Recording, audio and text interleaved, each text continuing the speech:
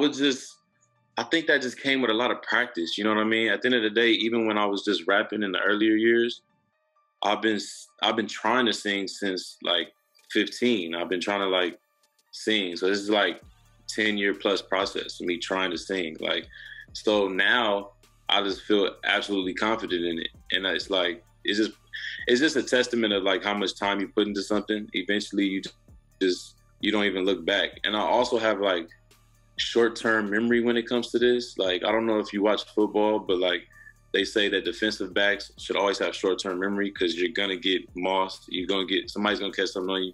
You got to come back the next play.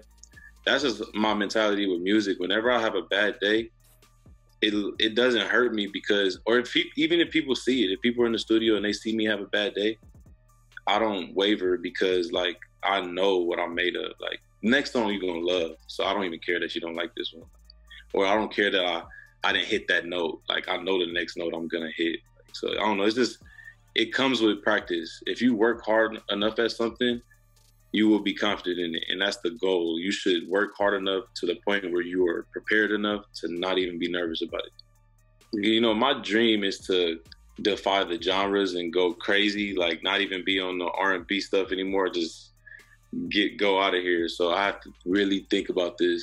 I got to think about my most commercial or my most like global songs, like songs that can go global. Let me think.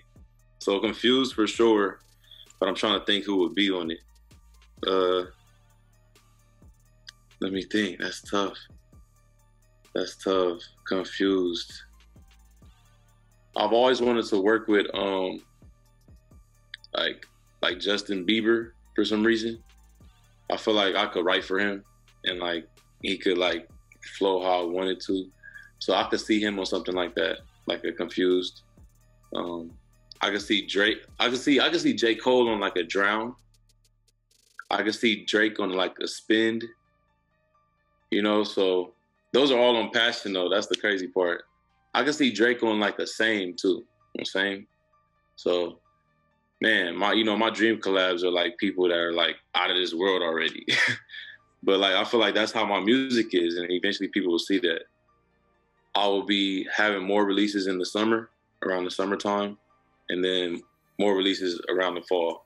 So I'll be dropping steadily, along with people who have me featured on songs. You're gonna get a lot of Griff Tyler music in 2020, 2021, sorry. And as far as uh, outside of music, it still kind of has to do with music. But you know, me and my friends are trying to establish ourselves as businessmen and entrepreneurs. So, you know, we have a brand uh, entitled Lost Sound, and I'm like, you know, the brand ambassador, like the front artist of it. Uh, you can follow it on Instagram at LXST Sound, and basically, we're trying to create a, a umbrella company that can do anything from publishing to label work to marketing to like like an agency for sports and things like that. We're trying to make it like like Lost Sound could do anything. Uh, just a one a one stop shop. So that's what we're working on. You know, it's gonna take some time, but that's what's in the works for us. That's why we just call it a brand rather than like a specific thing.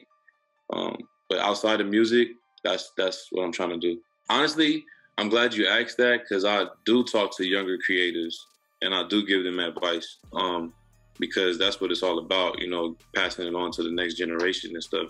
So make it easier for them.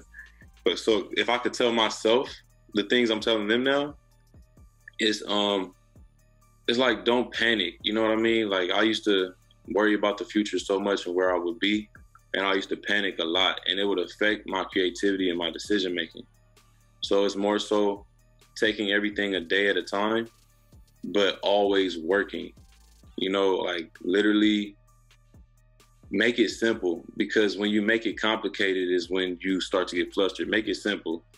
Uh, the fastest way to uh, to point to to from A to B is a straight line.